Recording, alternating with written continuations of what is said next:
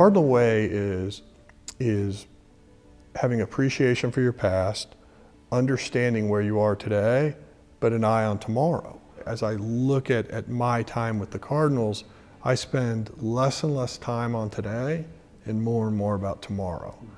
And I think that's an evolution of, of anybody in management, especially as they, they rise to higher levels of management. When I have the ability to talk about our company in front of our players, in front of our employees, I want them to embrace that same thing. When you can do that, you've taken a, a company that might be average and you're making it better. Values. That's what separates good to great.